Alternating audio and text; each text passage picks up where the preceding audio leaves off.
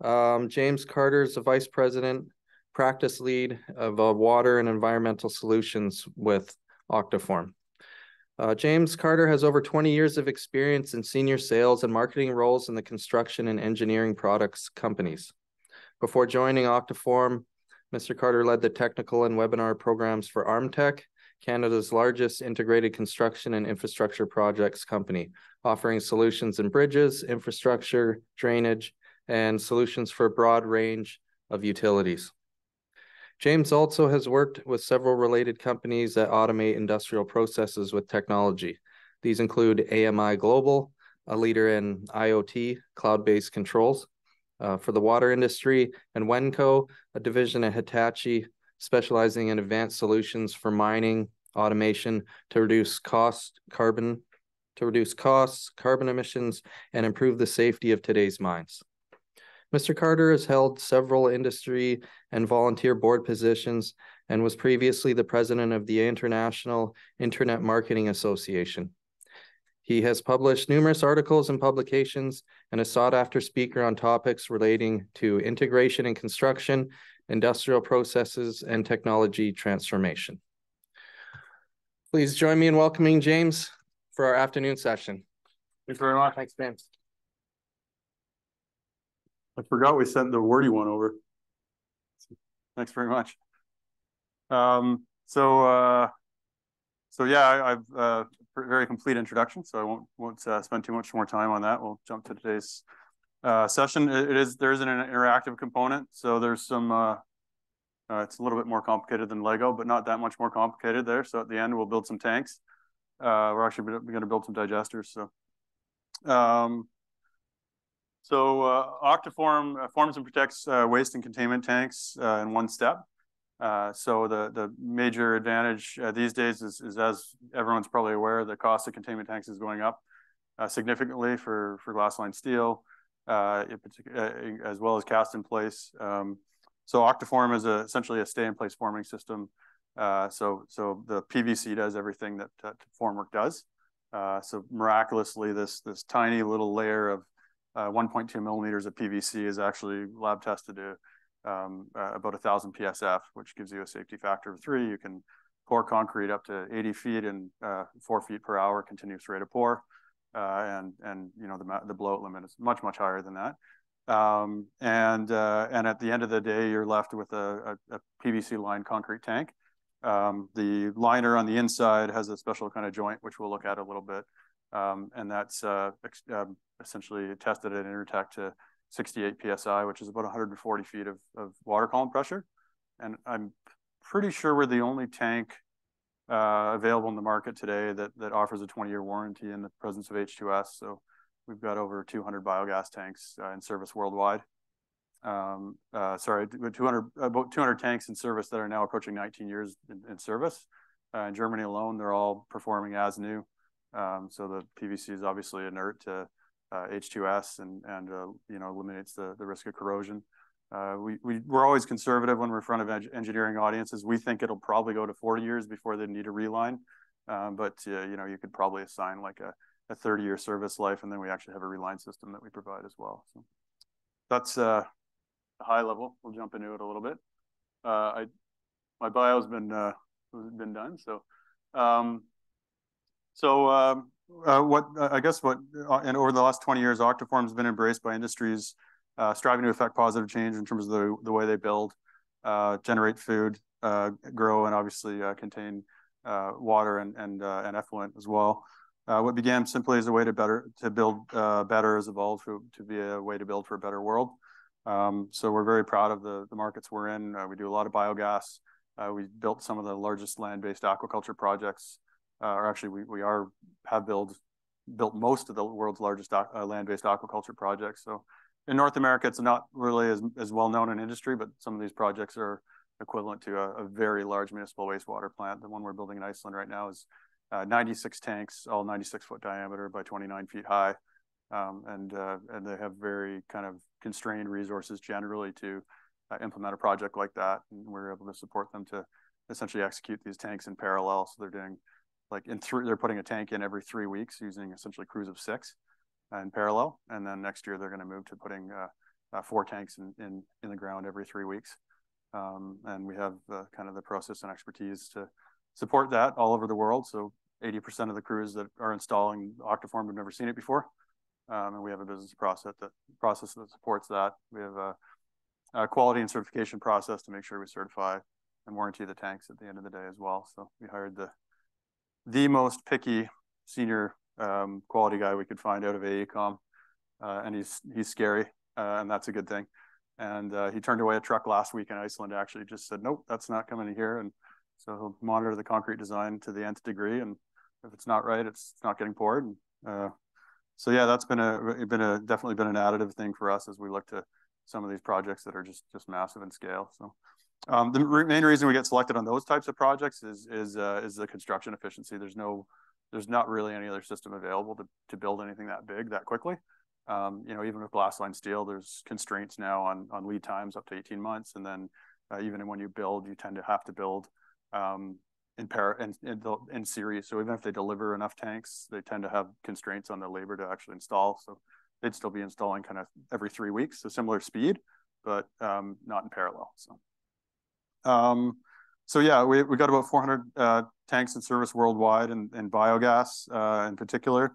Um, as I mentioned, some of the German ones are some of the oldest ones. Those are around 19 years. So, um, and uh, and we got a big range of applications. Or can, uh, on the screen, you can see kind of some some of our first applications were actually in agriculture.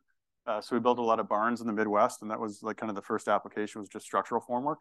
Um, and then the uh, what the owners noticed is they got they were looking for something that was easily washable, uh, so they could power wash it. Uh, obviously, hygiene is a major concern, um, and and PVC is very smooth. That's why they use you know similar compound and PEX piping uh, to to avoid any biofilm accumulation. Similarly, and food processing facilities, it's specified for similar reasons. They want to make sure there's no pathogen accumulation on the walls. If you put a power washer to it or a chemical to it, it all comes off uh, doesn't accumulate. So, so that was the kind of initial rationale for building barns these way, this way. But you also have the thermal mass of the concrete inside of the EPS foam with very low thermal bridging. So you, they, they were surprised they ended up getting a lot better uh, performance uh, for the for the animals. So they get uh, essentially better rates of growth uh, because uh, if they're heat stressed, they don't they don't grow.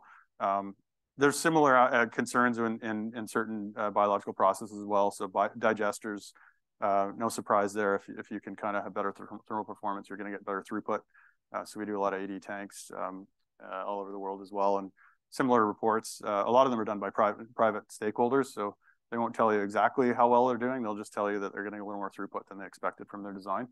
Um, they're usually pretty careful about what they tell you because it's all a lot of what we do on, that side is private, uh, and uh, so they're pretty low key about it. But we're getting good feedback there. So. Shortly after those uh, those barns, which we probably started in the Midwest, as I mentioned, over 25 years ago, um, the U.S. EPA started having groundwater ingress issues because the U.S. Uh, farms are so big, um, and they were getting groundwater contamination, um, and so they were looking for a solution uh, for large manure containment, and uh, and so we've done a lot of those, and we got really good support from the U.S. NRCS on those tanks. That actual tank there has been in service now for about 18 years. It has three separate electronically monitored sumps. Uh, they've never had an alarm, uh, and uh, it's sitting right on top of a protected uh, trout habitat, a red hill from a protected trout habitat, and a, and a protected aquifer is right underneath it. So um, there were major concerns from the EPA, of course, with that site. Um, and that's about 240 foot diameter. Sorry, I've been talking to Americans for a long time, so I'll, I'll try and get my uh, my my uh, metric going here. But um, that's about 240 feet diameter and about 14 feet high. So um, in terms of range of heights, as I mentioned, we go all the way up to 80 feet. Um, pretty much any any tank that's large, likely we're going to be cost effective. Uh, if you're getting to really small diameter where you could ship a fiberglass tank to site uh, and put it up in a couple days, then uh, you know likely that's that's would be our kind of lower limit for sure. Um, so uh, so this is a, uh, an interesting design. One of the things I think that's really interesting, if if you have unique designs uh, with respect to you know your, your process design, pretty much everything we've seen in aquaculture is is at least as complex as wastewater, and certainly uh, significantly more complex than biogas in terms of the types of penetrations we see, the types of designs we see, and um, uh, this is a, a, very kind of bottom corner of a large uh, array of tanks for a land-based aquaculture project in in uh, northern Norway. Um, and they use this octagonal design because they end up using the um, the kind of interstitial corners as filter basins. Uh, from an overall standpoint, sometimes people look at it on the outside and they say, well, that must be more efficient. You got common wall construction, but there's also considerations. Uh, we usually would study it and decide what, what's better. Um, you know, obviously because of hoop strength being a governing factor with, with round tanks, uh, they're fairly efficient to build round. And if you have any straight walls, you tend to have more moment force on the kind of the center of the wall. And so that will um, that will mean you end up with thicker concrete there. So it's kind of it's about even. You get some common wall construction advantage, but you also get thicker walls. So uh, so sometimes people ask that question. Um, and again, in the aquaculture market, uh, they're very uh, all the way up to the you know the invest the institutional investors. They're very concerned about biofilm accumulation and, and contamination for the, the species.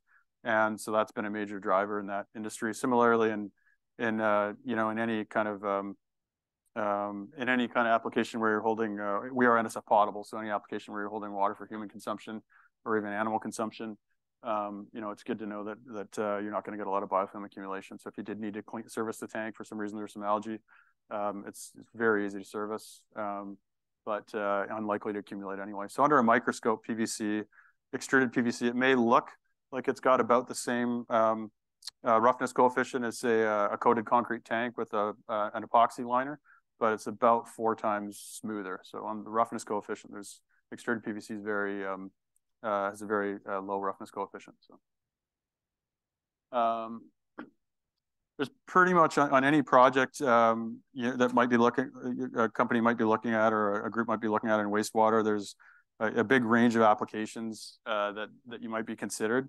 Uh, obviously, the obvious ones are anywhere where there's corrosion risk, um, and uh, you know, due to due to H2S, et cetera, um, or anywhere where there's uh, concerns about you know potable water and biofilm biofilm accumulation. Um, the the other thing is is we'll look at later is, is seismic, and any concerns about cracking or leakage. So PVC does work similar to some of those studies. If there's any structural engineers in the audience, or the structural engineers, there's a lot of uh, study done on on columns, structural columns, and when you contain concrete, you significantly increase its its performance. So, um, so uh, it increases the compressive strength, the flexural strength, and ultimately the seismic loading on the tanks. Um, so that's other, obviously a factor in, in coastal BC as well, um, for sure. Um, and then finally is just total cost. Uh, so we're seeing a lot of success in, in smaller markets where the forms aren't readily available; they need to get shipped um, and and we can reduce costs there, and then and then certainly schedule advantages. Schedule is cost, so uh, it's always important to study schedule context as well. You might get a, line item from us, and it's possible it's the same price. Doesn't seem to be that, that often, but um, uh, some if you're building an array of tanks, say six tanks, likely there's not a cheaper way to do it. Um, and again, that's just because you can deploy fairly local, low skill labor um, and support it. Uh, and we can support it. In terms of getting local contractors to bid, that's our job. We do a pretty good job with that. Um, so you're going to get, um, uh, you know, initially they're going to look at it and they're going to go, if they haven't seen it before, this is new. But again, like 80% of our projects, the contractor's never seen it before. Um, so we have a pretty good way of, of showing them a, a, you know, a takeoff illustration and then showing them time lapse and real time footage of, of every kind of stage of the execution. And at the end, they kind of look at it and they can tell, oh, that's, that's not really skilled labor. And that's where they realize they can see dollar signs. There's always constraints on skilled labor. If they can use a pretty high ratio of low skilled labor, uh, you know, and, and wreck something that, uh, at the end we're going to take the onus on. So we also carry the warranty. Uh, then then that kind of reduces risk. So you end up getting fairly competitive pricing back from the contractors. Um, so yeah, a big range of applications we see. Um, uh, equalization ba basins, clarifiers, aeration basins, BNRs, uh, biosolids tanks, obviously, uh, anything in, in the digester space, aerobic and anaerobic, uh, potable water uh, storage, uh, even water towers, like the structural component for the water tower, uh, works pretty well. So um, it's just very rapid to to to build. so um, I'm just going to show a quick kind of assembly sequence here. So this is um, uh, essentially a formwork segment. The prerequisites are the same as a as a uh, ACI 350 uh, tank um, or a, a, ACI 350 structural design. Um, and so uh, essentially, um, the engineer is going to want to know a few things. Obviously, that PVC, they're not used to saying that going through the concrete. Uh, so they're going to want to know, is it detractive in any way? And the, the answer is it's actually additive. And that's, there's three separate studies. One's done at Seattle University, the other one's done at University of Waterloo, and the other one's done at the UBC shake table. So um, the concrete contains the, uh, the, the, the octaform contains the concrete and, and that allows it to, um, uh, to, to not spall. Uh, and so it increases its compressive strength effectively. Finally, we put it on a, a four-point bending test at University of Waterloo, and that increases the flex and, and octaform uh, specimen significantly exceeded the structural capacity of the um, uh, of the um, uh, of the control specimens uh, by about 65% increase in yield load, 35% uh, increase in cracking load, and then finally we put it on the shake table uh, with Dr. Carlos Ventura at UBC, um, and the control specimen failed at what's called Veritech times 200%, which is like a Mexico City earthquake times 200. Sorry, I don't know how to pause this. That's why the video is still going. But, um, but uh, uh, and then, um,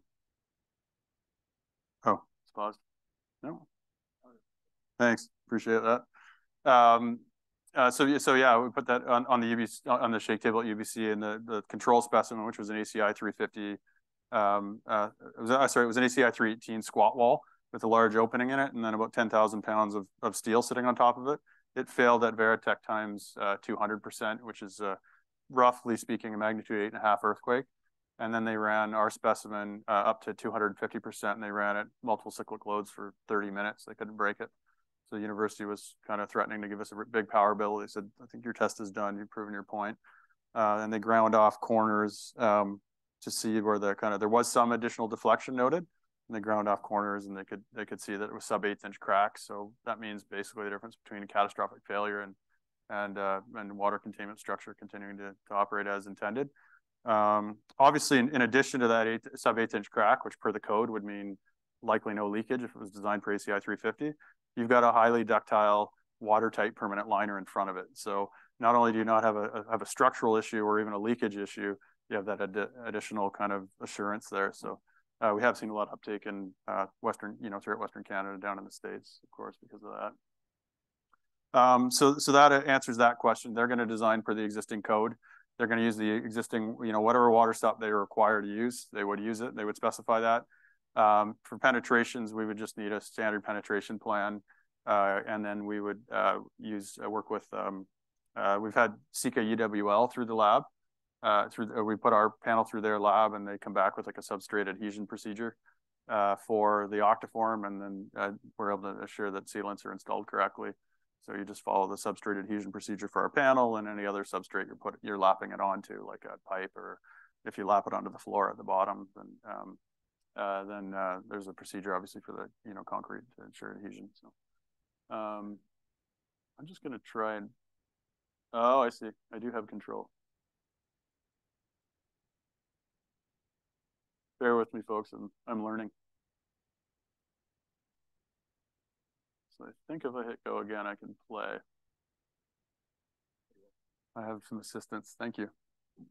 So, so the first thing that happens is that inside panel is, is what's called SLT or snap lock tight. So it's a watertight panel.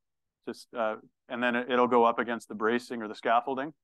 Uh, then the connectors go in, and then as you can see here, steel gets placed, uh, lifted, tied, and inspected and then outside panels get slid in. Uh, if there's any foam, uh, any insulation specified, we we build a spec. So, you know, uh, four inches is pretty typical to get your R18.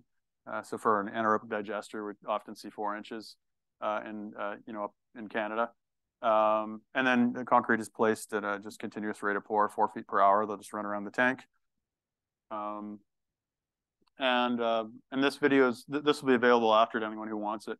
Um, this sequence just continues and it shows kind of more detail in terms of how Octaform gets executed from a construction and efficiency standpoint. So it's very easy to, to kind of deploy crews in both directions, erecting the formwork. Um, so you can take a six person crew on a, say a small, um, small tank like that, and they're very well deployed, utilized. So uh, there's no kind of, the, the reason we're able to kind of work with new labor is that there's no uh, it's there's there's no just like lean manufacturing there's no pause points where all of a sudden six people are standing there waiting for someone to do a deal with a penetration you can just redeploy the labor in the opposite direction around the tank. They can pre-assign, assemble some panels, et cetera. So, uh, so there's no kind of major dead spots where, you know, some element of project risk becomes a, a major contributing factor in a schedule delay or anything like that. So, um, and finally, obviously, after that bar is placed, again, you can see here, um, they're going to close up the forms, add the insulation, and place your concrete. There, they're going four feet per hour. And there's some tricks in the mix. As I mentioned, we have a, a, a senior quality guy who's got um, way more letters behind his name than I do with respect to, to concrete certifications. And um, so obviously you want a very flowable mix going in there, uh, fairly small aggregate. Um, and so we, the engineer will give our, will be given our boundaries. Obviously the, the, the design will, concrete design will be per the engineer. Um, but uh, but we'll have we'll have to accept it. So we're included as as kind of a signing authority to accept it that it'll uh, support um, good consolidation at the octaform. So um, uh, this is usually where we take a lot of questions. People kind of start to digest it. They've seen that sequencing. Now we're looking at the um, uh, at the formwork. So I'll, I'll, I'll pause for questions in a bit here. Um, so this is a, a typical uh, example. Uh, obviously, for for typical tanks, you're going to see a much thicker form. This is probably an example of a six-inch wall form. So as you can see, it's got a single matter rebar. Those little rectangles in the middle are quite small. Um, in uh, in a typical tank, we, we kind of provide the, that center connector in two inch increments all the way up to 26 inches in, in wall thickness. Um, you're going to see a lot more of that gray area, lots of room for double mats at bar. Uh, the outside actually is, is, quite useful. Actually, depending on, on whether you got your um, uh, horizontals on the inside or the outside, it can uh, help ensure that the depth of cover is met because uh, it's exactly two inches always. So as the formwork gets bigger, that center rectangle gets much, much larger, and it's you'll see lots of pictures later where it accommodates um, uh, double mats. Obviously, you can see, uh, depending on what kind of horizontal bar pattern you have, there may be some collisions. It's actually fairly limited. It's only about an inch thick, that little strapping. Um, so uh, three inch bar patterns can be a bit challenging. Um, so we provide some, some guidance to the engineer. Typically, because as you go up in height, your pressure decreases, it's okay to run three inch bar pattern for a bit. You know, potentially it means you're using a little bit extra bar, but you know, only in the first six feet of the tank or something like that. So but usually we can work with them to come up with something that's going to be, you know, uh, work well. Uh, as I mentioned, the water stop is per design. Uh, the inside panel is, is the uh, watertight panel system. So that's the panel, the system that we warranty for for 20 years as being watertight, um, including corrosion resistant for H2S, et cetera. Um, and number five there, again, wall thicknesses is all the way from four inches to 24 inches in two, in, two inch increments. Um, so if you, your structural design specifies something where you end up with an extra inch, usually we'll either fill it with foam or, uh, or usually you can value engineer a little bit. So if you're using more concrete, you, sometimes you're a little bit less um, uh, less demand on the horizontal on the vertical bars. Uh, so you know, adding an inch of concrete isn't the end of the world. So. Um, and fairly standard uh, concrete mix design requirements. We just need to increase the slump with a plasticizer to make sure it flows in nicely we get really good consolidation. Um, and um, and we tend to use a little bit smaller aggregate sizes. So uh, so it's usually any jurisdiction, whether they're referencing ACI 350 or they're referencing Eurocode or the British structural codes, there's there's no issue getting uh, uh, getting something working with with the engineers. So yeah.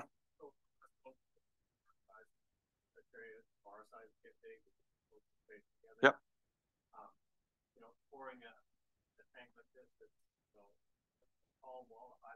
Mm -hmm. uh, yeah, I can the um, smaller aggregates and the higher but how, how do you do confidence uh, Yeah, good question. Yeah, so uh, we one of the things we do is um, uh, obviously we're there and we and we supervise and we certify. So we'll the, really the, the key is is the mix, and so uh, we will have continuous monitoring on the mix, and then we'll want that as soon as the we'll the plasticizer added on site. And and and unless there's kind of different, sometimes when the temperatures vary, uh, it, the the plasticizer can last longer. So colder temps takes a little bit longer for the plasticizer to go out of the mix. Um, but typically our default, right in our, our warranty spec and, and what our, our uh, technical supervisor is looking for is to place it within 40 minutes. Um, and then the other thing is the aggregate size we're looking for is a max 3 8 inch. Uh, and if they do that well, uh, and they're watching what's actually coming out of the hose, then uh, then then we're we're in pretty good shape. Uh, they are going to obviously vi vibrate and they're going to overlap the the lifts in the, with the vibrator. and it sounds very low tech. Uh, and uh, but you know even we all know what engineers say, and and and how you ensure quality in the field can be sometimes a little different. Even engineers acknowledge this.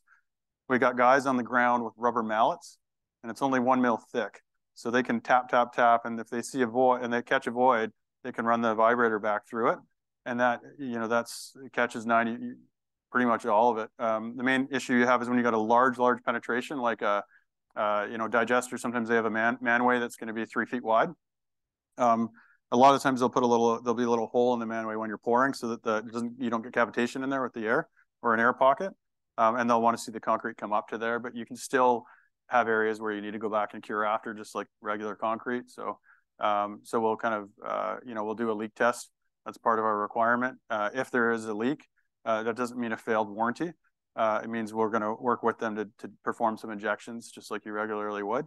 Uh, and then as long as there's a three-day condition where they have sub uh, 1% loss or 0.1% loss, I can't remember, I'm to look at the number again, uh, of, of level, then we would warranty the tank as being watertight, and then it, we carry the responsibility for it for 20 years.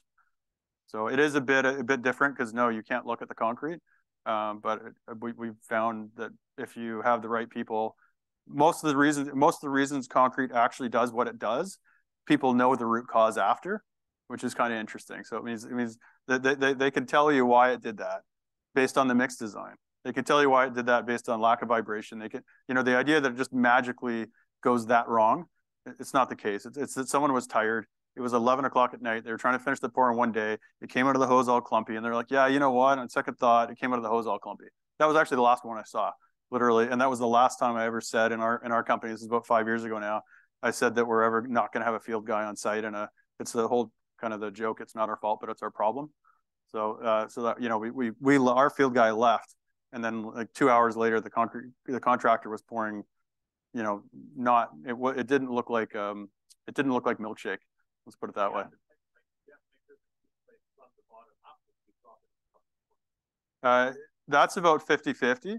So, so because uh, a couple things. One is uh, people who understand the mix really well. The mix we that we specify uh, has very low probability of any kind of segregation, and that's well acknowledged. But not everyone's comfortable with that. Their interpretation of the code can vary. Um, but if you're doing, you know, usually up to 20 feet, uh, we'll often uh, see people free fall it because the octaform um, contains it, so you don't get scatter anyway. So that's one of the major causes of segregation. The other one is certain types of mix are more likely to segregate.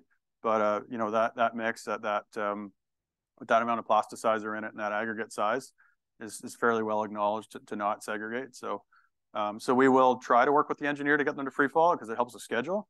If they can't, then we can accommodate a tremie anyway. So uh, either or. It's usually about 30% of the time they're saying, no, I want a tremie in there based on the local engineer. Good questions. Thanks. So I presume that you have to fairly continuous pour, like you can't have cold joints, right? Yeah, I, I mean, we, we try to avoid them for sure. Yeah, I mean, you can't, um, you know, if, if, you know, a minor cold joint or a rock pocket doesn't equal a leak. So if the engineer, you know, says this is fine from a structural standpoint, we've got a permanent liner in front of it. So it does mitigate risk, but, you know, typically we're, we're trying to pour the whole tank in one go. Um, obviously, there's certain types of designs where you're going to need to be you're going to need to accommodate a, a, cold joint like a 80 foot tank. They're not going to, they may not necessarily pour that all in one go. So uh, we are kind of looking at some pretty high digesters now. Like we're doing a couple 18 meter digesters coming up in the US. So those will probably, we'll need to plan for a cold joint in there somewhere. Yeah. Good question.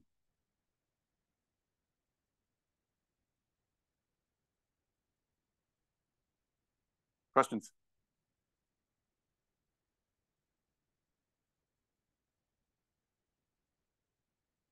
So I, I, I'll take some from the, if there's anyone remote, just let us know and we'll, we'll take, capture some questions from them as well.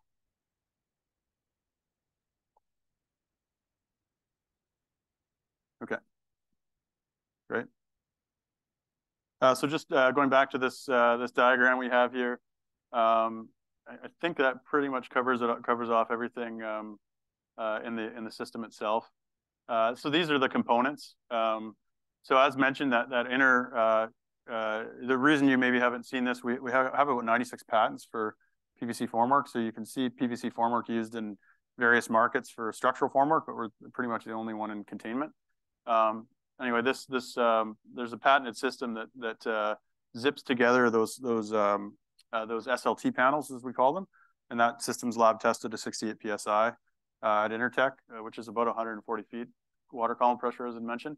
So that zipper on the on the far right there, top right, um, that essentially runs on on two grooves in the panel and forces that panel uh, forces that seam shut. And once it's shut, you can't uh, you can't uh, you can't move it. Uh, they also also the it's very easy to very easy to use, so we we get kind of consistent results in the field. Um, and uh, and then uh, the insulation obviously can be extruded to thickness. And then finally, the outside panel is that one on the top left, and that one literally just slides down. It's almost gravity fed. Um, so on the inside, you're kind of taking uh, sections of panel and you're zipping them together uh, and, and bracing them up against the, uh, the scaffolding. Uh, and on the outside, you're literally, they're taking what looks like quite a flexible panel and they're putting it over their shoulder uh, and, and into the connector. And then uh, it's funny when it's in all in opposition, it's, it's a very rigid system. So that's just a kind of a cross section of that um, SLT panel. So you can see that uh, in that in that joint detail there. Uh, there's there's essentially two contact points, and it's co-extruded with a softer PVC, uh, and that's what makes that that watertight uh, connection there. Um, coincidentally, our, our first digesters we ever did uh, were actually with our standard system. It's just that we couldn't, we, it would never test out in the lab to be watertight. In reality, um, it's performing as if it's watertight, gas tight in, in the field because you get so much head pressure when you load it with concrete. Those joints come quite tight. Um, but uh, obviously, we needed something that was would provide a little bit more uh, confidence for engineers, um, and uh, and so that that system obviously stands on its own even without any concrete behind it, uh, as being watertight. So it's essentially braced up with uh, with just lumber, and then Intertek ran a gasketed a, a large uh, kind of um, hose to it, and, and then ran a lot of water pressure against it, obviously. So, um, this is a University of Waterloo test. Uh, this is a four point bending test. Um, and it's uh, uh, the control specimen. Uh, we exceeded the, the, performance of the control specimen, which was an ACI 318 code reference specimen, uh, by 65% increase in yield load and 36% increase in cracking load. Um, structural engineers are pretty comfortable with this kind of stuff because there's a lot of study done on FRP uh, for column jacketing and to increase basically seismic uh, capacity of, of uh, structural columns and even blast blast resistance. So this is fairly similar to what they're used, used to seeing, which is you can take a highly ductile material that on its own isn't that strong, and if it contains can do a reasonable job of containing concrete, it significantly increases its capacity. So the main mode of failure, obviously with concrete, eventually it does kind of decide where it's going to go and then it'll spall. And so it, it limits that spalling. So, um, uh, so no surprise, just with a standard compressive st uh, strength test, we had a 36, a 30% increase in confinement uh, due to confinement. Um, and then we put it on the shake table at UBC uh, and the control specimen, uh, that one up top. It's the only reason it's not in, in, you know in shards on the ground is that it's it's cable stayed because it would tear apart the lab pretty badly if it actually collapsed. Um, but that's a complete failure. You can see there's there's spalling at the top there. Uh, there's spalling in the middle, and then there's spalling at the hinge at the bottom, which is a pretty common mode of failure in seismic. Things start going like this with concrete. It doesn't like it. It spalls out at the hinge. Um, and then the bottom is the octaform. They ran that to what was called Veritech times 250.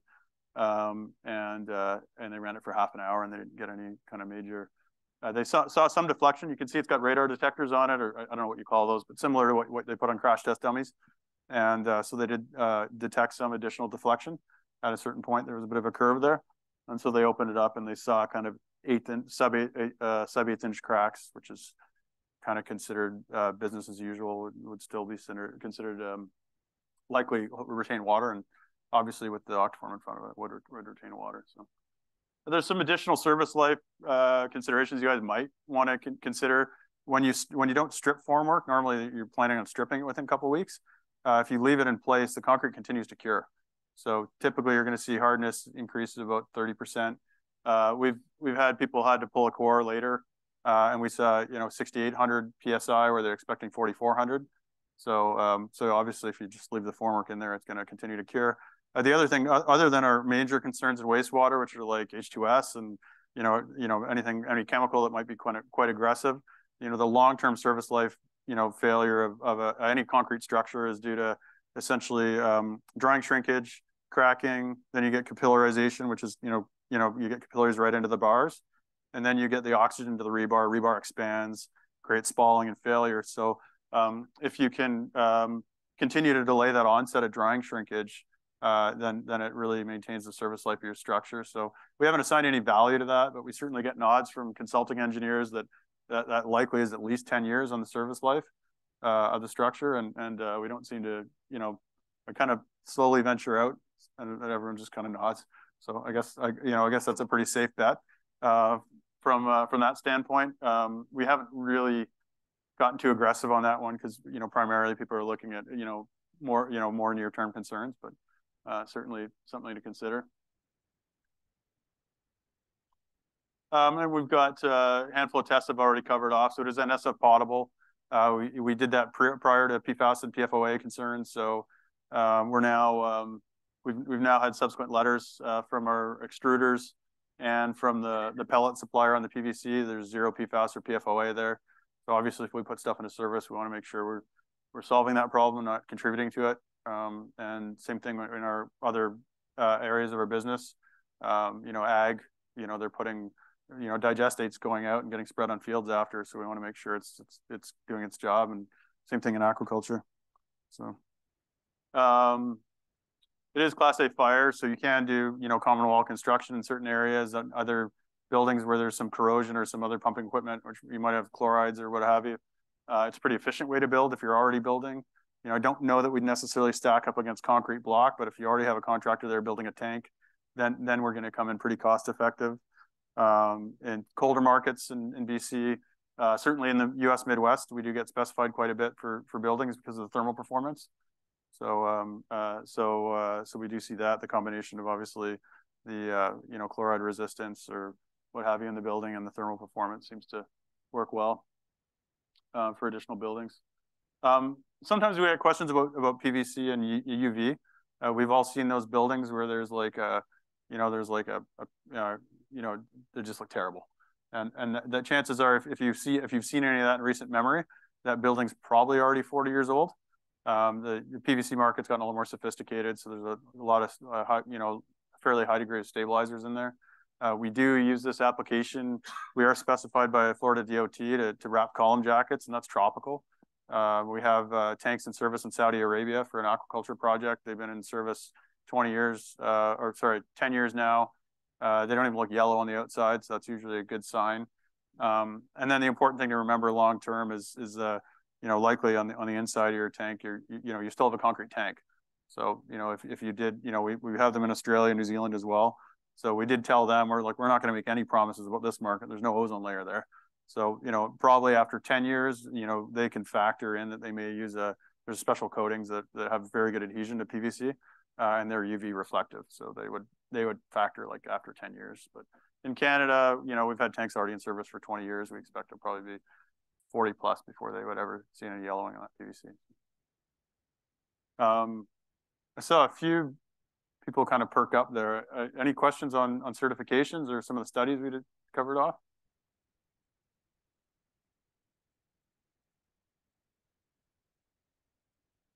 I know it's it's afternoon and it's warm here, so can't blame you guys. Um, in terms of construction execution, I think I covered that pretty adequately. This is kind of cool. This is actually the world's largest recirculating aquaculture project at the time. That one in Iceland we're doing is now the biggest. Uh, so that's a couple billion dollar project, um, and uh, it's pretty pretty interesting one. Uh, but this is in Saudi. Uh, we didn't know that everyone would entirely speak Arabic, and none of our crew spoke Arabic. Uh, but we're we're really darn good at hand signals.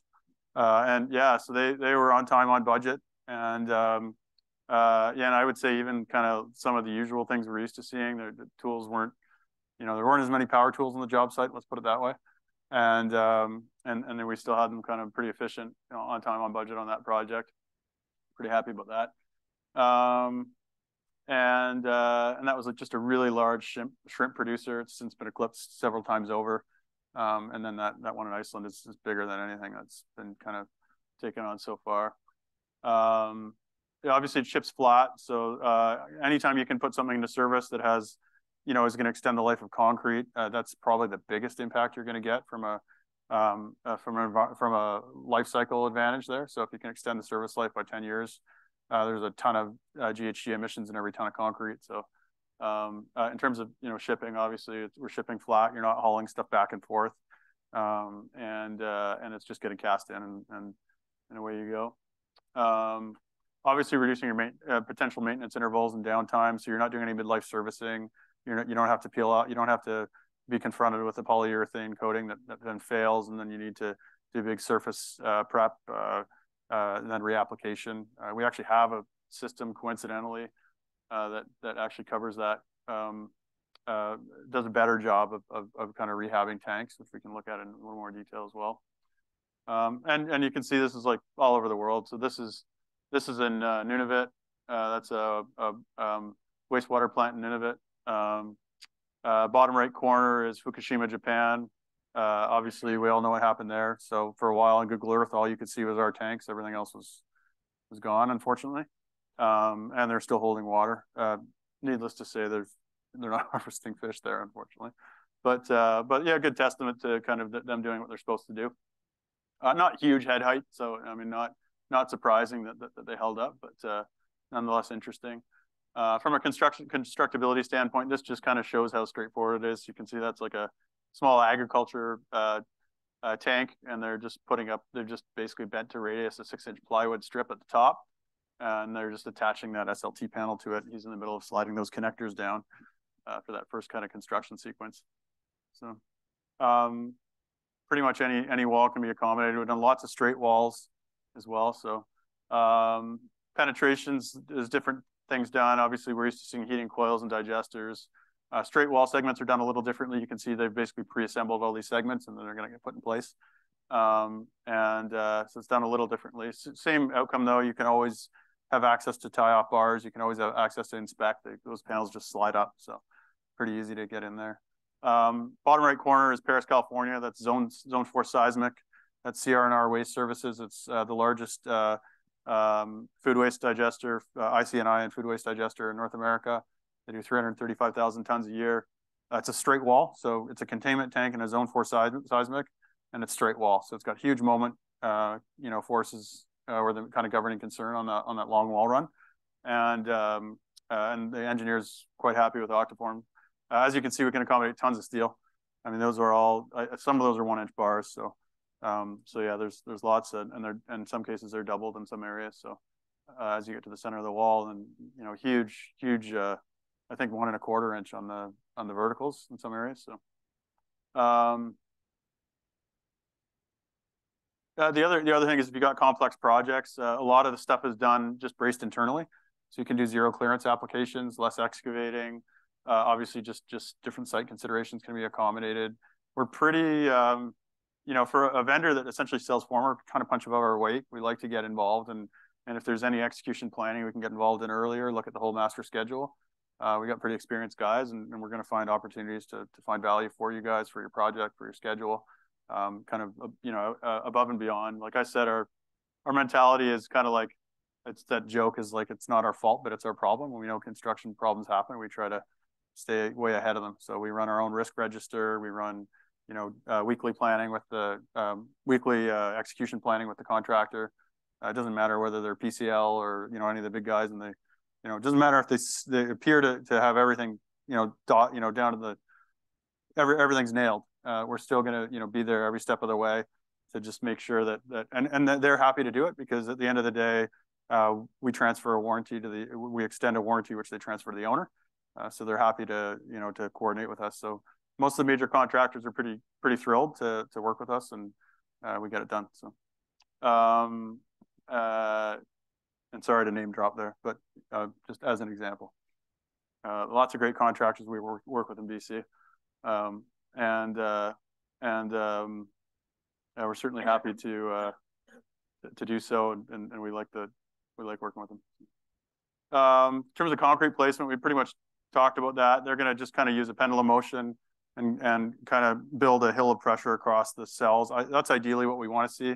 Obviously, sometimes they do demand a tremie. The engineer, local engineer will say, "No, I want to see a tremie in there," um, and that's fine. So you can drop a tremie down and, and place it uh, you know, with the, the whatever the maximum required drop is, five feet or whatever. And um, Uh, and then they're gonna obviously vibrate. Uh, you'll have, uh, they'll power wash as they go to make sure there's no adhesion to the PVC. And then they're gonna use a, a rubber mallet and they're gonna just be checking all as concrete's getting placed, see what level they're landing at. And obviously if there's any voids, then they're gonna run the vibrator back through it. Um, this is this wall armor system. So um, this was developed over 10 years ago. It was used actually in two, pla two places uh, recently in Canada, or, or, just the ones I can think of. The, it was used to reline a hydrolysis tank, uh, which we'll look at. Was They had a bag liner, it ruptured completely. Uh, they then uh, tried to reline it with polyurethane. They had an adhesion problem, it failed. And then they came back and they were looking at doing it again with polyurethane or the Octaform. And we were going to be two weeks ahead of schedule and about $20,000 less total cost to do it. Uh, so they've that owner uh, decided to go with Octaform. Uh, they've just done another project where they've done a reline using that. Needless to say, all their other tanks are just Octaform now, so that kind of solves that problem. Uh, they've all the, this one's been in the, the one tank I'm thinking has been in service about eight years. Um, no issues there. And then the other one we did is we used the same system to reline a bunch of potash terminals in um, for Neptune uh, that had major corrosion. The tunnels with the conveyor belts, they had major corrosion because they had, you know, air and the moisture in the air and potash is pretty corrosive.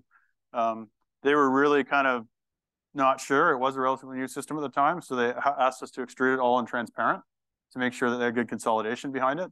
And, and it, uh, you know, we, we, we worked with them on the mix spec and, and we got great consolidation in there. So there's lots of, um, lots of pictures of basically transparent, um, uh, the, the system done in transparent. It's a little different system because it needs to go floor to ceiling without any interruption. Um, so, uh, so it's a push on system. So you push on a panel and then in between each panel, a ceiling strip gets pushed in there.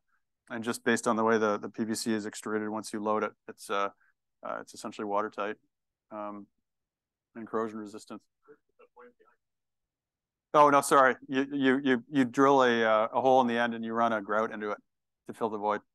Yeah, so that was why uh, that was why they wanted that. Uh, they wanted it in transparent because they wanted to see whether or not they were going to end up with voids.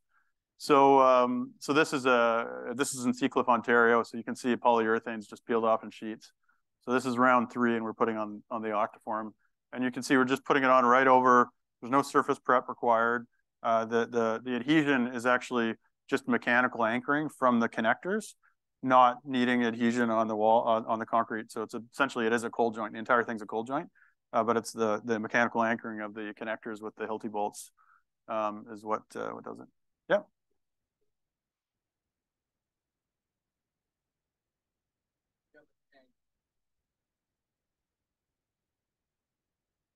Oh yeah, good question. So the uh, the question was um, what prevents water uh, ingress at the at the floor seam? Uh, so for a typical tank, um, you know, with you know water containment, you, your your kind of rules are the same. So uh, so you're gonna obviously you're gonna rely on a good water stop design. When you're placing concrete right down near the water stop, there's there's extra things going on. You in addition to the water stop, sometimes you have your your lapped um, uh, dowels uh, lapped to your your your vertical bars. So there's actually more issues there, and it needs to perform better there.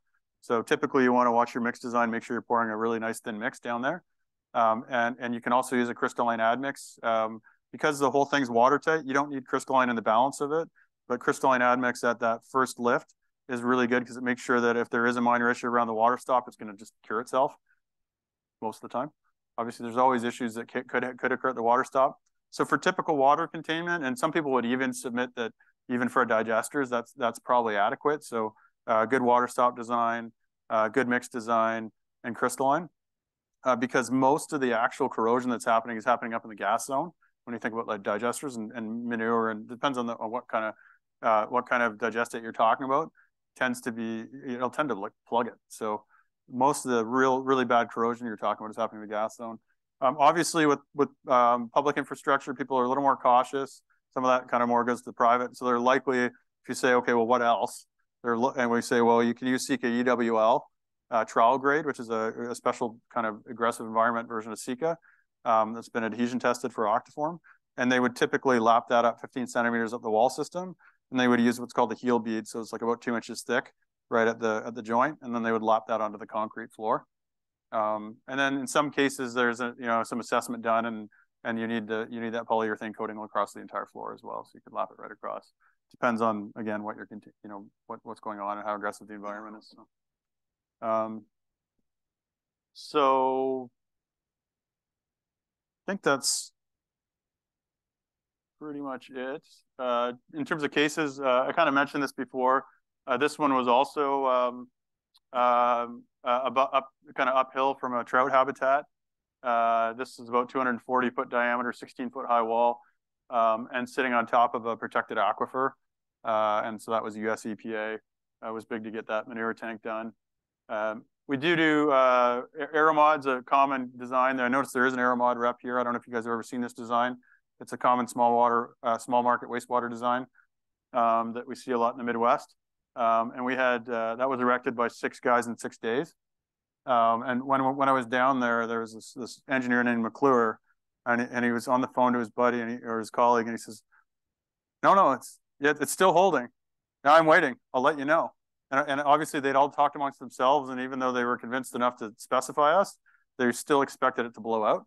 So they're all amazed when it didn't. So pretty funny. But um, uh, just, just you know, because we all know uh, everything doesn't go exactly as planned.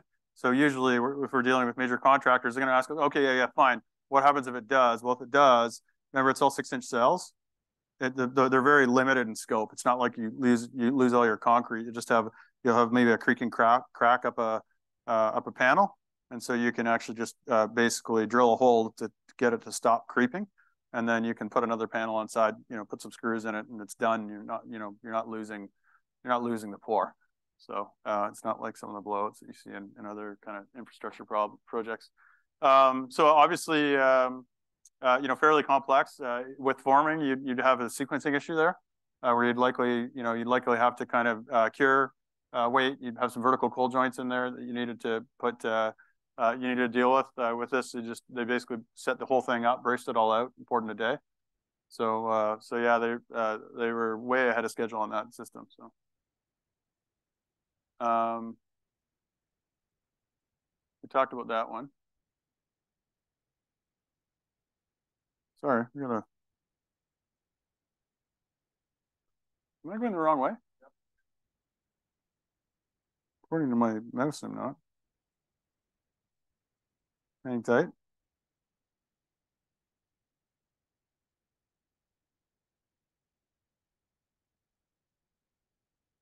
Uh, this is a, a, neat one. This is a Stantec project. Uh, it's Taber, Alberta. It's a BNR bioreactor. Um, they were estimating to be about 56 days minimum to get this done. Uh, they used a, a, sub there that's quite good. He's actually a trainer for us now. We have him out in Iceland. Uh, and he's got those guys moving pretty quickly. And they have kind of a rotating cast of, uh, they have to, um, it's really hard to get consistent labor resource there. So it's really difficult. Um, so they're they're facing some challenges, and, and he's getting everyone moving. But um, so he he was the sub for for Stantec for this project, and um, uh, it predates me. So I was on a on a lunch and learn with with that Stantec office, and one of the people was there, and I said, "Do I have my numbers correct? Did, did he actually get it done in 26 days?" Oh yeah. So that was fast. So they were expecting about 56. They were done in, in and out of there in 26 days, and that included a tornado going through and knocking some of it over uh, during the uh, during the uh, setup. So uh, main reason uh, that they're able to go go quickly, obviously, uh, you know, good contractor. Uh, the other thing was that they poured a lot of a lot more monolithic than you'd think, and and people are expecting a lot more sequencing there, a lot more um, uh, a lot more horizontal joints to deal with, et cetera. So, um, so yeah, they're very happy with that, um, and uh, and the owner's very happy. I spoke with Taber recently; they're they're quite happy with it. We've had some other people out to see the site. So, um, this is Camden Point, Missouri. It's a water tower. It's just structural, so uh, just holding the um, the tank at the top. Uh, but you can see they used uh, kind of like some slip forming equipment, but essentially used Octaform, and they um, uh, they cast it in uh, uh, 12 foot segments all the way up, roughly speaking. I can't remember what the top segment was, but um, but essentially they, they did 12 foot segments, and they just what they did is the inside panel and the outside panel is the same height, and the the connector is higher. So you you know I got something to kind of connect the next piece to. Um, and then every time, you know, if you're doing, say, our SLT system and you're doing a really high, like a big digester, you don't want the cold joint in the concrete at the same point, that, at the same height that the cold joint in the form is, because our form gives you some added assurance. So you actually stop your pour about a foot below. You place a water stop in there. And then when you go to do your next pour, your next pour drops in a foot past. Uh, so you don't have a cold joint right in front of that seam. And then obviously you're going to try and get that seam as low as you can in the tank. So if you've got two segments, you're gonna put it way down below the gas zone, so you'll actually choose where the seam is gonna be. Uh, and then and then you can lap it with polyurethane as well. So, um, so that's that CR&R uh, waste services I talked about. They're doing 4 million diesel gallon equivalent of uh, fueling out of that. Um, and they're going to go ahead with us for a second phase. that'll double the size. So the 335,000 tons of IC&I and food waste. And it's, it's kind of neat when you go down and I, I it, it, predates me. And I was down in LA County and I'm on the road and all of a sudden every truck around you see on our R&R and you realize just how much, how much waste they're putting, hauling to that facility. It's pretty impressive facility. So, so yeah, it's a neat one. It's, you know, one, it was, it's been around a while now and, and it's uh, fairly well known uh, in the, in the uh, AD space anyway. Uh, this is Seacliff Energy. It's a, a mixed waste uh, facility as well. Um, and they've done, they did the initial two tanks with us. Then we relined that hydrolysis tank, which we talked about.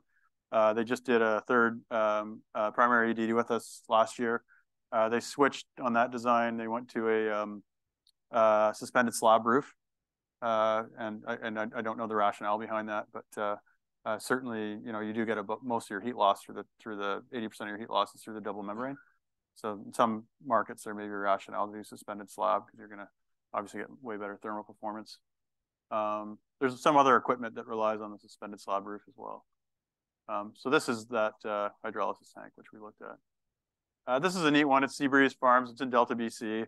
Um, you know, pretty small. You normally wouldn't see an upgrader on that one, uh, but it was just to uh, it was just kind of our, our, you know it was early days, and I think there was there was some support from government to to get a, uh, a you know from uh, Fortis to get a, a, you know some gas injection going. Um, so it's like a 170 cow uh, dairy, and they've got um, uh, and they're they're running a digester there and, and upgrading and doing gas injection for uh, RNG production. Uh, we did Canada's first zoo gas plant. This is a pretty cool project. so it's mixed waste. Um, you know, from an energy intensity standpoint, most of the value of the mostly from an RNG standpoint is generating from food waste because uh, it's you know it's obviously more much more energy intensive. Uh, but they are collecting uh, you know elephant poop, zebra poop, you name it. It's all going in there, and and then they're mixing it with food waste. they got IC&I waste coming in from a variety of sources. So um, some typical commercial haulers as well as, as anything they're producing at the zoo is going in there as well. So food waste, IC&I, um, fog, fats, oils, and greases. So. Uh, and in the Midwest, we do see a lot of these additional ancillary buildings getting built as well. Um, probably some opportunity for lift stations as well. Uh, we bid a few, haven't seen any come in yet, but obviously you do hear about a lot of corrosion in, there and you can essentially cast the entire, you know, all the tanks and, and it's particularly in small tanks. Uh, it's quite time intensive for the contractors to figure out how to strip the forms out of there. Um, whereas ours are just leave in place. So, uh, so that can help. And then uh, they can cast the, you know, the entire wall system of the structure as well um, questions, and then we'll move to the fun part. We get to build something.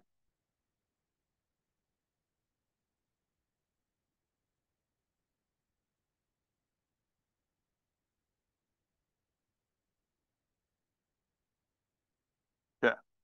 So, uh, so seeing as we're going to build something, I got to give a safety talk first. I guess that's how it goes. So, um, I didn't bring my hard hat. I did last year, uh, but um, uh, it's not going over your head, so I think we'll be okay. Um, I, I, joke a lot, but obviously safety is a big, big concern in our in our company. Um, doesn't matter who we're working with. You know, if something comes up, we're going to talk about it. Uh, so, um, you know, you might manage to cut yourself with Octaform, but that's that's about all we need to worry about today. So, um, and we're not handling any rebar, and we're not going to grind. I was thinking of bringing a grinder and actually grinding some rebar here, but thought that might be objectionable, so we're not going to do that today. So uh, I'm just going to show everyone uh, kind of what components we're going to do. Last year, uh, we just kind of showed generally how you do a simple uh, containment application. Um, and in that assumption, we assumed uh, we didn't use our SLT panel, so that just assumes the governing factor is is essentially an ACI 350 design. I would just you know wanted to kind of illustrate something simple, and that can happen. Sometimes you'll get a, a design like that Aeromod tank with all those walls. Uh, it would be too time intensive. So the main advantage was the time. Uh, so the, the governing factor for the, the performance of the structure was still the code, ACI 350. And the forming system they were using was the standard Octaform forming system. But in most cases, if you're doing a round containment tank, uh, we're going to provide that 20 year warranty on it. We're going to use that SLT panel. So today we're going to build a digester. So I'll just show you kind of what the components are for the digester. Thanks very much.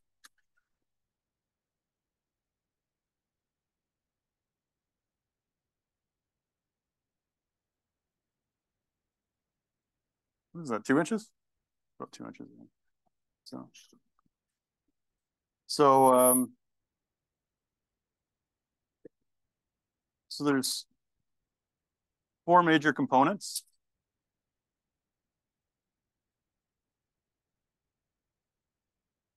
We have a, uh,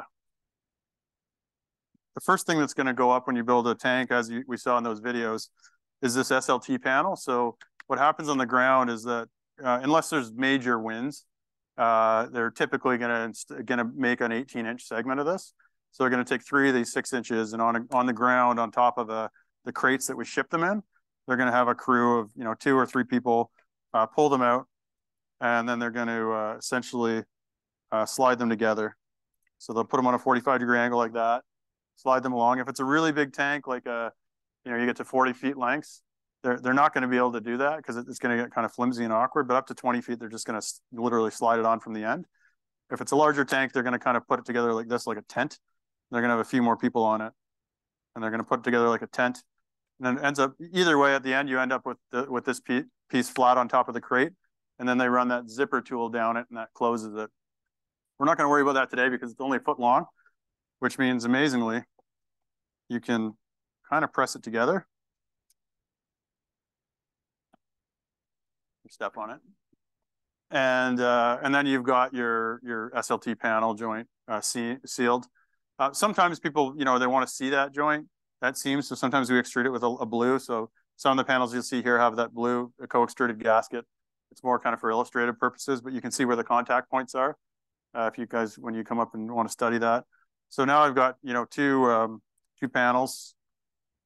And, and then on the outside, I'm going to have on the outside, our, our goal is speed, obviously, right? Doesn't need to be watertight on the outside. So you're going to use uh, two of our standard panels. So the way the sequencing would work normally in a in a project is you would, I don't know if everyone can see this, you'd essentially erect this, it would get braced against, you know, a panel sets of three would get braced against the formwork or against the bracing. And then you would slide in um, an Octaform connector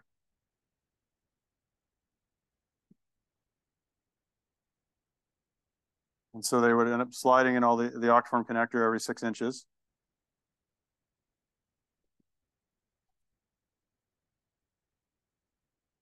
Or every three, depending on the, the thickness of the tank.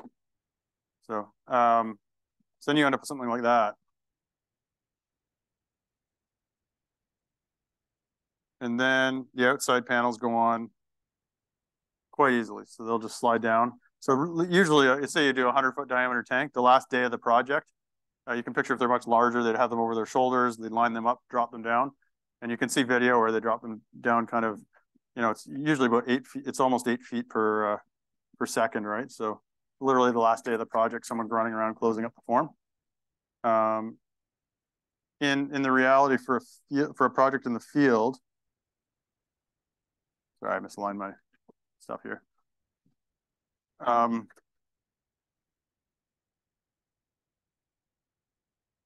hard to do on this little thing here. Anyway, I think we, are getting the point here. So, um, uh, in a project in the field, it would kind of be almost just the last day of the project.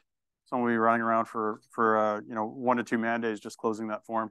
So, um, oh, sorry, I know what I was going to say. So, so the the what happens in the in the actual sequencing in the field is that the the entire formwork is braced with without these outside panels on. And so everyone has access, you know, immediate, easy access for rebar placement. They can place it, they can lift it, they can tie it, it'll get inspected by the engineer and and away you go. So and then finally the last day you, you close up your close up exercise, if you're doing a digester and it's insulated, you're gonna have a crew of two run around sliding down the outside panels and then they're gonna slide down this insulation. I just for simplicity's sake, I didn't bring it. There's these little clips that kind of jam in there and they're almost like a fish hook. They have a, a flange on them, and that that ensures that they stick. Uh, they that lines up with this little track here, and that ensures that that they don't fall into the concrete when the concrete's getting placed. But for simplicity's sake, I didn't I didn't bring that. But this is effectively what a digester tank looks like. So here we are. I don't know if you can get the camera this level or not. If not, I'll bring it up.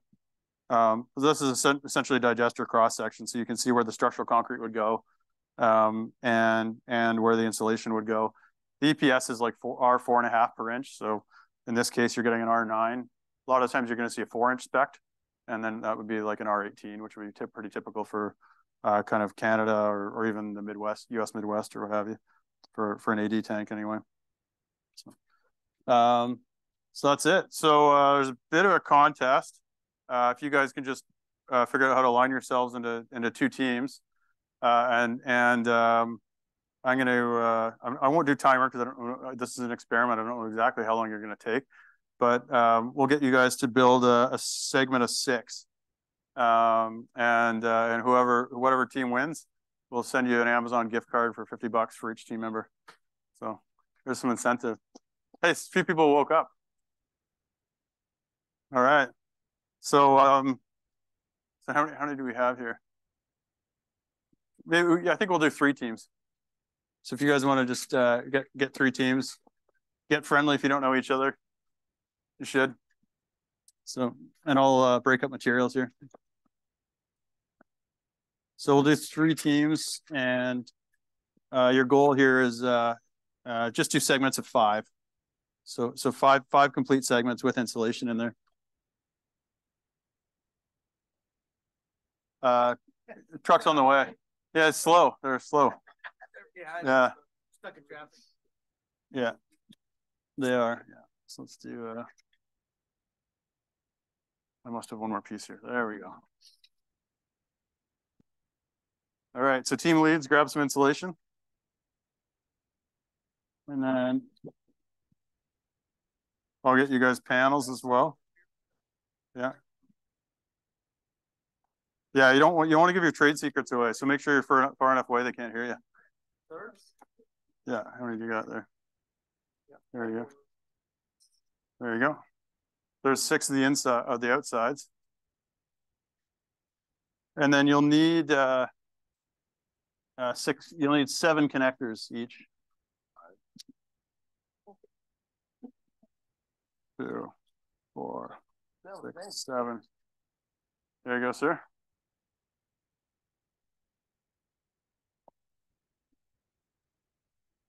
and then just six each of these.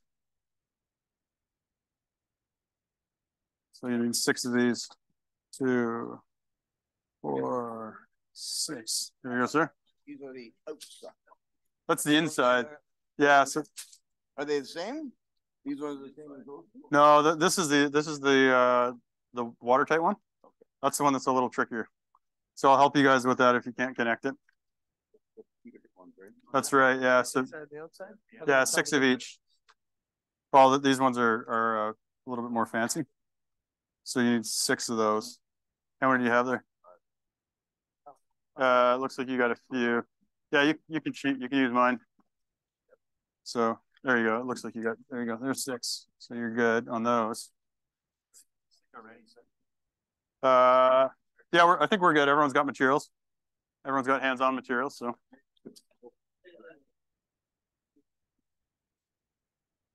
Oh yeah, I was wondering whether I'm gonna give give people tips or not. So I guess I'll give you a tip. So remember I showed you the inside and then I said the outside goes on really easy. Yes. So the in, so the inside panels are the SLT that he's got. The outside panels don't actually stick to themselves; they stick to the connector. Yeah. So, I don't have the inside panel. So yes. That's so I would build your inside wall first. Might as well do it the way we erect it, and then yeah, and then, yeah, you got it. This is awesome.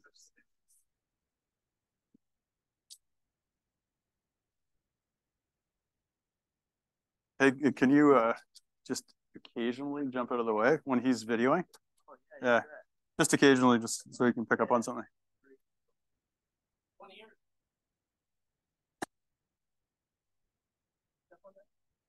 You guys figuring it out? Looks like it. You definitely have uh, two different pieces. That looks like. Yeah, I wouldn't worry about color so much as just, uh. Oh, that's definitely it. Gotta hold her mouth right. Why does that look weird? No, it's the other way. Is it? No, I'm confused. Why am I confused? Because that goes the other way. Oh, that's it. Yeah. Okay. So yeah, that's there you go. Do you want to uh, you want to do any field support? One more panel on the end.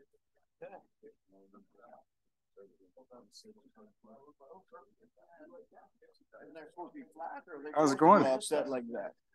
Oh yeah. So these guys, I'll give you a hint. They they don't really connect to each other at all. They connect to the connectors. Oh, okay, Yeah. well, there you go. That's There you go. You us on your team, maybe going for coffee.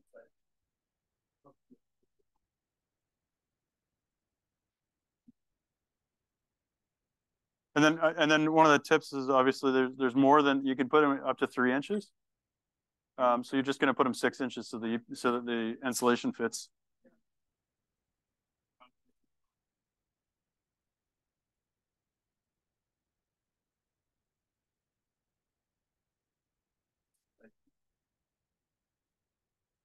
Phone goes to the inside or the outside? This one. and this one.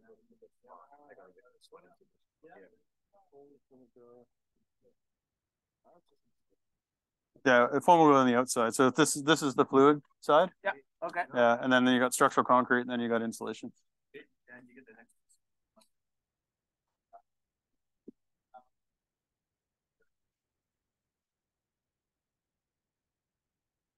Everyone being safe. Just slide in. They're more inside, outside.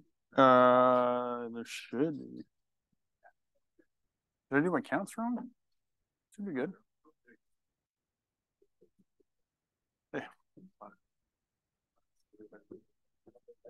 Yeah, it's got a good angle on everyone.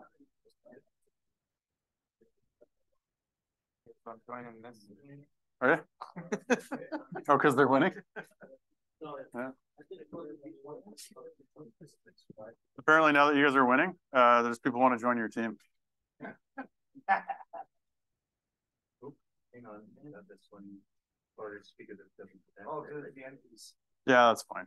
Okay. Don't tell anyone. Yay! Nicely done. Concrete Kevin. Where's the beer? Good teamwork. Right. That's Friday. There's boss, beer boss. Hey, where it is? Yeah, ICFs. Yeah, yeah, yeah, exactly. In Australia they use they use uh, this stuff for everything. Yeah. Um, yeah, it's just kind of taken off. They're, good. I, I mean, I think the main concern is even though uh, we're Class A fire and smoke after that Grenfell Towers thing in the UK, I, I don't know that we're going to chase that. I think we just we'd be fighting confirmation bias and everything else. We use them for uh, low density fill on, uh, bridge, on and off ramps. Oh, yeah. Uh, you would the- Bridge was built. Yeah, the foam, yeah. Approach the, uh, approaches to the bridge or. Some kind of high density foam cube, yeah. They flow real well with it. I was wor- I was working at Armtec when they did the PMH one and they, they did all that. Yeah, between Yeah. and- and your roads. So- sorry, I'm James. Oh, Danny. Danny, nice to meet you.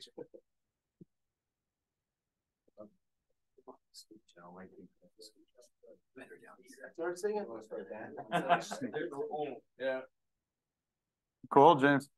Ryan, and I have a sprained wrist. Oh, so Ryan. I'll be very careful. It's a Nice to very meet you. soft shape. I Yeah. Took the thing off. How'd you do that? thing on Ah, awesome. Yeah. Should have seen the other guy. Oh, that's good. Oh, No, I just right? fell on it awkward and my hand I'm up. talking about it was when you were at work. Yeah. Nicely done, guys. You were ripped up at work and, uh, that's, that's summer out. That would be fun to be. I, I gotta take a picture of this. I'll let them know we got some more field support people here. What's that? Yeah, yeah.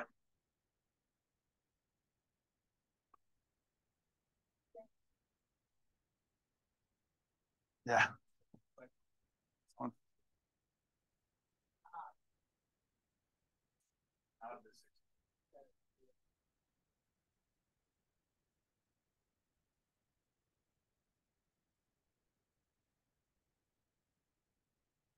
Nicely done, guys. Maybe we'll have to have a runner-up prize. You guys did pretty well.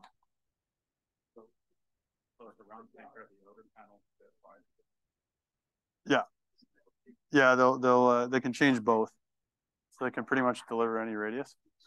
And then um, you'll notice, like even these panels, we have different variations of of, um, of this panel as well, where you can like if you cut it right here, it becomes two three inch panels, right? So they can see how that that's like essentially a, one of these. So we and then we have this other one called the PF5 multi, and it's got even more increments. So it builds everything one, one and a half, two, two and a half. It becomes two, two and a half, uh, three, three and a half, like all the way up in half inch increments.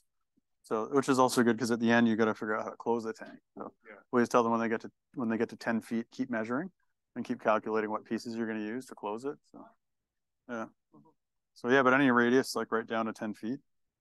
Yeah, just uh, you know, estimating will kind of issue a different design. Sometimes they'll uh, they'll issue a design where it's like it'll go seven seven three seven seven three or whatever, using a combination to to keep the radius. So they'll expect that. How much space if you use On on the Like if you're oh the reline, Yeah. yeah, two and a half inches. Yeah, so it's five inches in total diameter essentially. Yeah. yeah. Oh, Abbotsford. Cool. Things are busy there, aren't they? Oh, really? Oh man, well we can talk. We good to get. We, we can't, we don't really have five inches. to the channel. Oh, that's what sure. That's really what they're from. Yeah, that's that's where it becomes challenging. But uh, certainly when they when they do, it works well. Oh, Central Okanagan. Yeah, just basically, we're below, outside of Woodburn, not below it, so. Okay. So, uh, Cool. Yeah, basically, out each line. There's a contractor there that keeps calling me. Keeps saying, I want to do something with you guys. I mean, there's a lot of, uh, I think there's a lot of potentially firewater tanks and that sort of thing going in as well. Yeah, so, little, yeah, we can wrap. do a little wrap up. Yeah. So, hey, do you guys have a team name that's uh, appropriate? Team what? Team winner. All right. So, yeah, I want to say, say, Team Giver. So I want to say congrats to Team Giver for, uh, you know, a, an excellent performance. So if you guys are ever, you know, looking for a job in the field, I can send you off to Iceland in the winter. The, the, wind, it only blows 140 kilometers an hour on a, on a bad day there. So, I think he's accusing you being low, low Yeah. skill. yeah. But uh, anyway, I really appreciate everyone for for taking their time today. Uh, great conference and, and great group as all as always. Um, obviously, we, we do run uh, uh, technical sessions. Uh, happy to, to give a lunch and learn to to anyone who's who's keen, and and um, uh, we do provide fairly detailed level one budgetary pricing as well. So you you don't need to kind of uh, we can usually turn something around in a couple days if you're just looking for a certain tank dimension, what it would cost. Um, you know, if there's even a volume ex- optimization exercise, we can volume optimize and come back with something for you. Yeah. Thanks very much. Thank you. Thanks. Please join me in uh, thanking James. Uh, so that, that wraps our in-person uh, sessions. I want to thank everyone for coming. Um, I'm going to invite Stephanie Hall from EOCP up to just give a little closing thing for us, please.